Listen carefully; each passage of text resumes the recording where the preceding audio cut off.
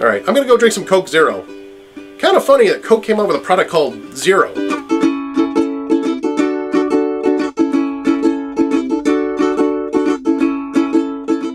You know? Because, like, zero used to mean you're the loser. Now they're like, hey, you want zero. How's that for marketing, huh? Number zero came back. Like, zero was like nothing. And now it's like, hey, zero is good. Add another zero at the end of my paycheck. Promises it's always at the front. Needs to be at the end, after a digit that's not zero. What was I talking about? Coke! Coke Zero! I like Coke Zero. I think it's good.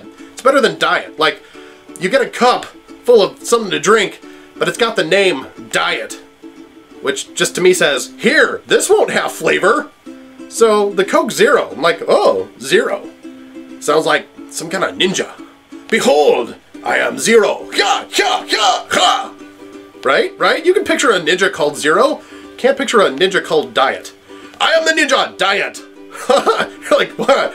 Hey, you're looking good. Did you lose some weight? Right? yeah, I wouldn't fight that guy, but still, I'd make fun of him. And then I'd run away like this. Ah! All right, kids, I'm gonna go play Angry Birds again. Love and muffins.